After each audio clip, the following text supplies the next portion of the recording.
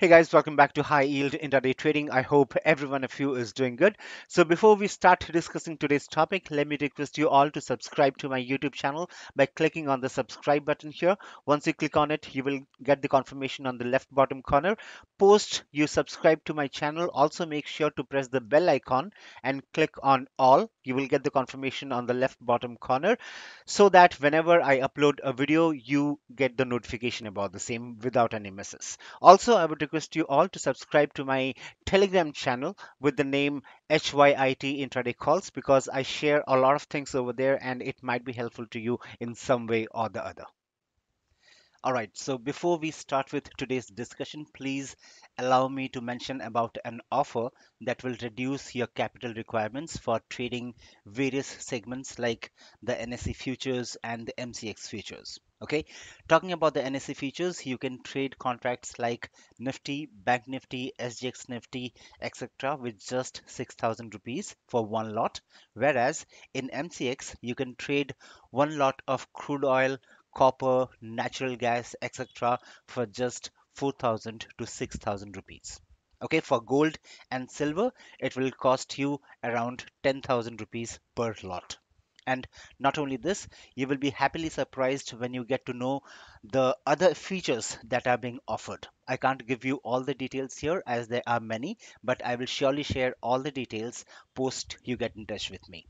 In today's scenario, if you want to trade one lot of crude oil, you need to have a minimum of 1.6 lakhs as your capital, that is 1 lakh 60,000.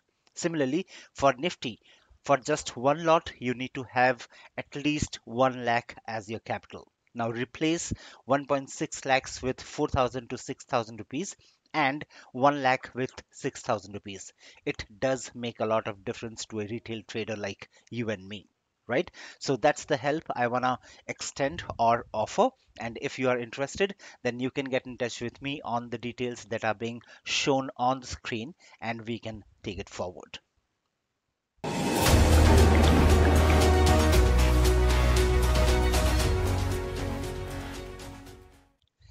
Hey guys, a very good evening. I hope every one of you might be having a really good time with your friends and family. So without interrupting much on a holiday, let me go ahead with this quick video wherein I would like to share two stocks on which you can have a bullish eye and they can be traded in the upcoming days as explained in the video. Okay, so let's get on to the chart and let me bring it in here. Okay, so the two stocks that I'm talking about are PVR and HAL. Okay, let's take it up with PVR first. Okay, let me bring in the pencil here. Okay, so the moment you see this chart, this is a one day chart of PVR. Okay, so the moment you see this chart, it is very much eminent that PVR was in a consolidation phase for a long, long time, right? This phase was an absolute consolidation phase okay and post this phase it gave a breakout in an upward direction and it flew up I mean, that is something which is expected because this guy has, uh, this guy actually tried breaking the resistances a lot many number of times. Like, for example, one, two, three, four, and in the fifth attempt, it is the case when it started moving up. Okay, so the more number of times a particular resistance is being uh, attempted to be broken, the more stronger the move becomes right? So that is the exact thing that happened here. It tried breaching the resistance for uh, tried for almost four times and on the fifth time when it broke the resistance it flew up okay? Now after it went up it came down the same way. It did not take much time to come down okay? Now what's happening on the chart is the green zone that you see here and here they are the resistance and the support zones. Okay? Now let's talk about this zone here. Okay? Now this particular stock is at this level. Right?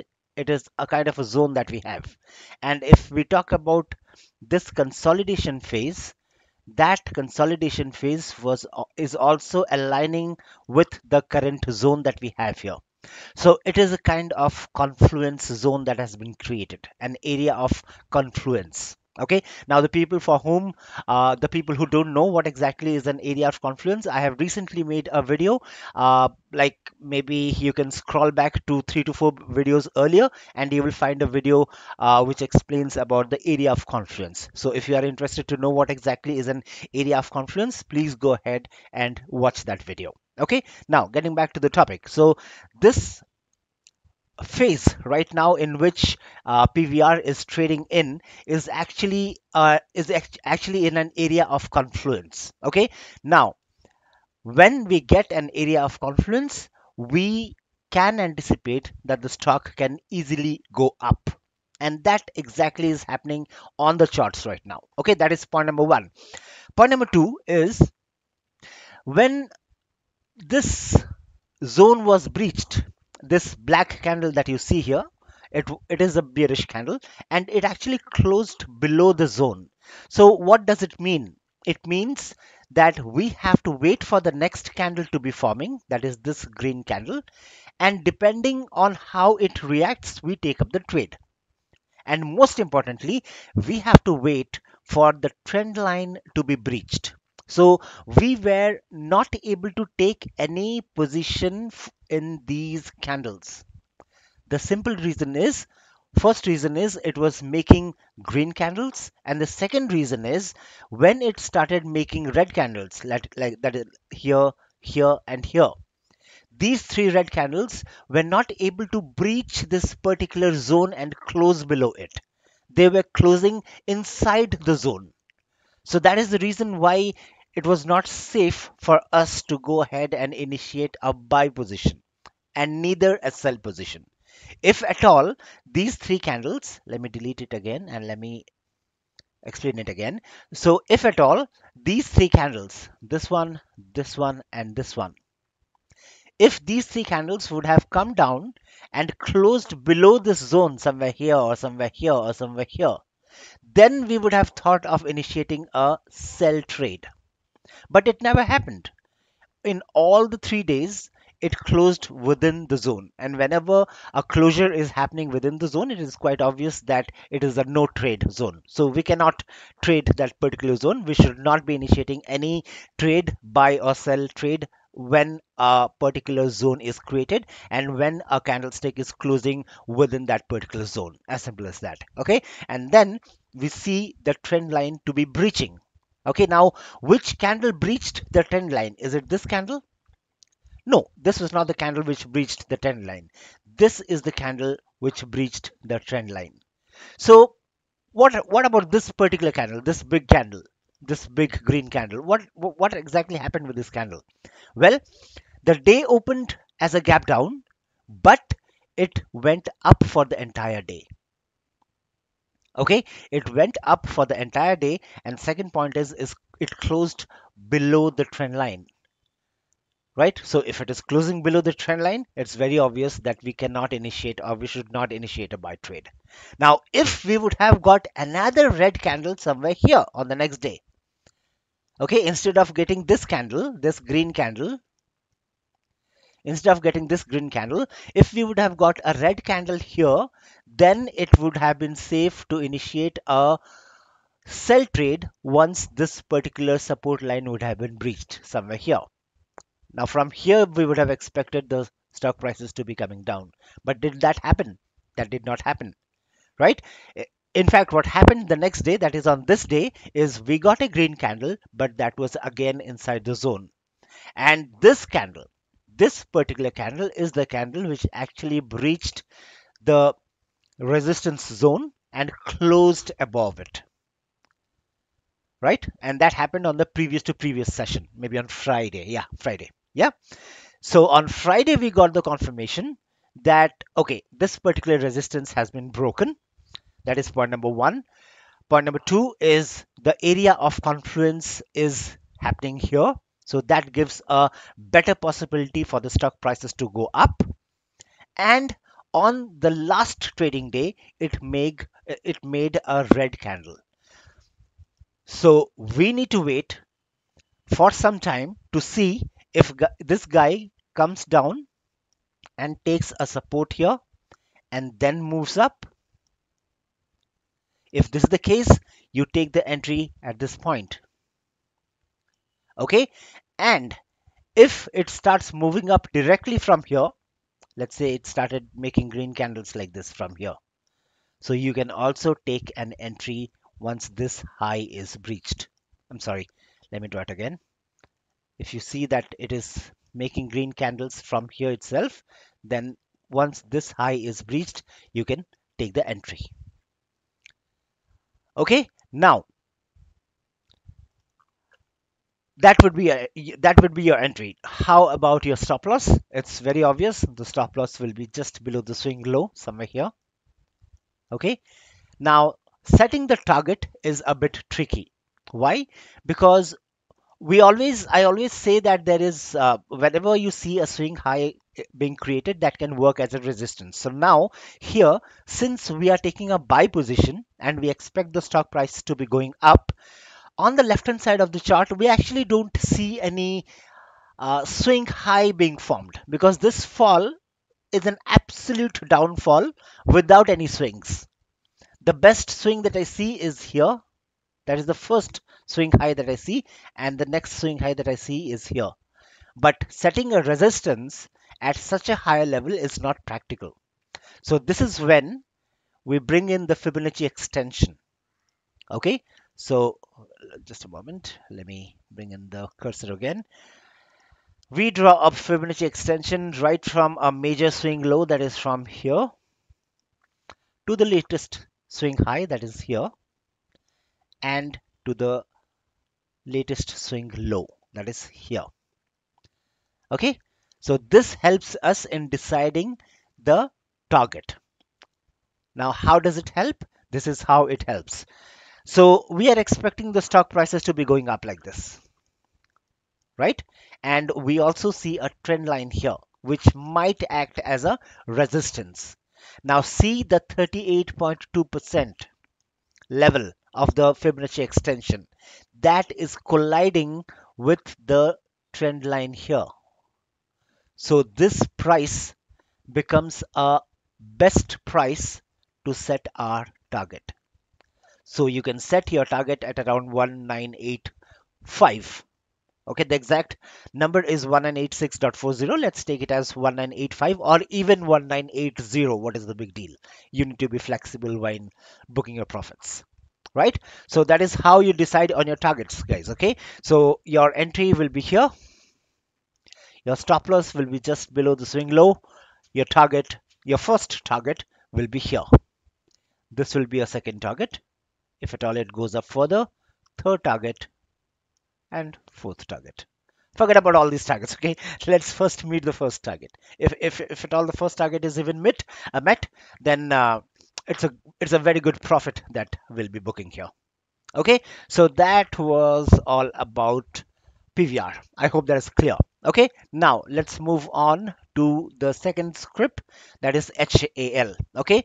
Hal this is the guy who has actually made a new 52 weeks high okay it has made a 52 weeks high in the last session that is here okay now if you see the chart uh, what this guy has been doing is it has been taking a very good support on the area of confluences.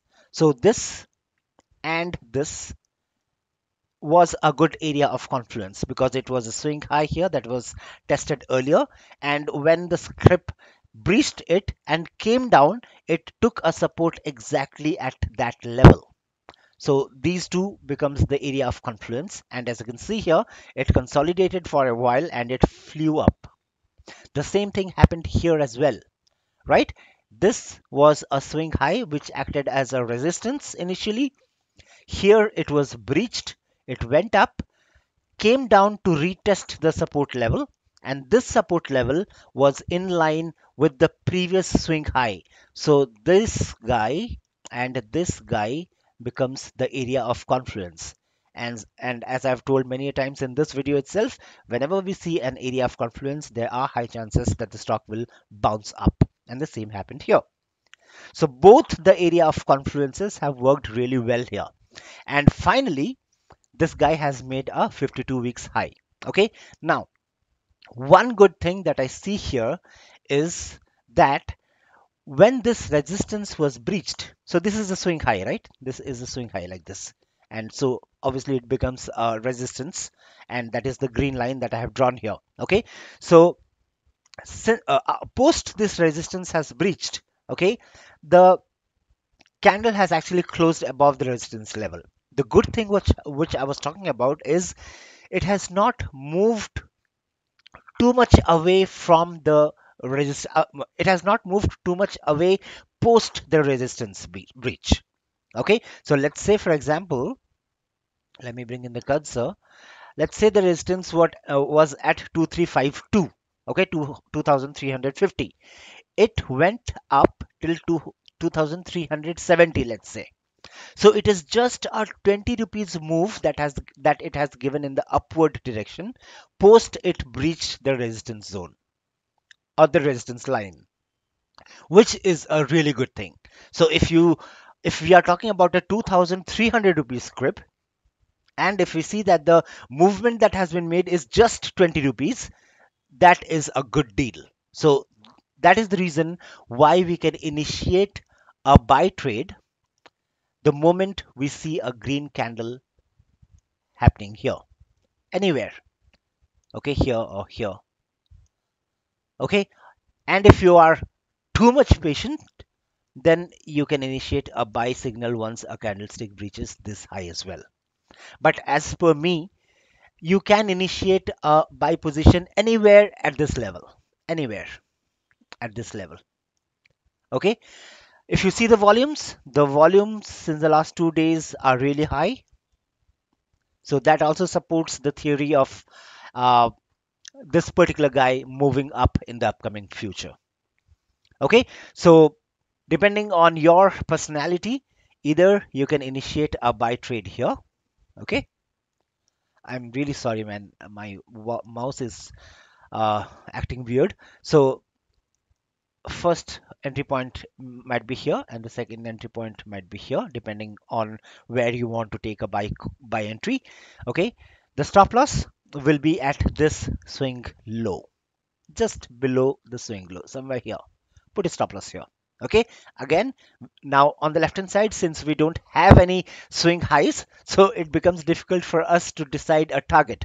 So again we need to bring bring in the Fibonacci extension okay and uh, we draw the Fibonacci extension like this. And that helps us in deciding the target right? So the first target can be anywhere here.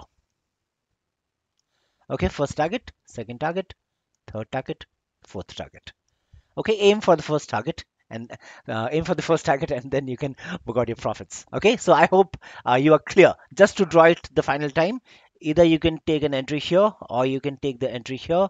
Stop loss will be just below the swing low and your first target will be here. And this will be the second target third target fourth target.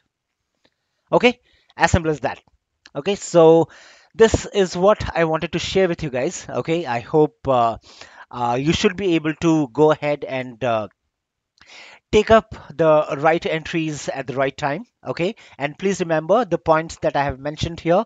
Do not deviate from the, those pointers because numbers okay? When we are trading the numbers at which we make the entry is very very important okay? So those numbers when we make the entry those numbers should be supported by the technicals. And that is exactly what i have explained in this video okay? So wait for that exact thing to happen on the chart the thing that i have mentioned in this video. And if you see that that thing is happening on the chart go ahead and take a buy trade okay? And there is nothing to be get to, nothing to get worried about because we have a well defined stop loss and we know where to book our profits. So that's it from mine guys. I hope everyone of you uh, will be having a very good evening. Uh, take care of yourselves and i will catch you all later in some time. Happy trading and thank you all for sticking back and thank you for your time and patience. Bye bye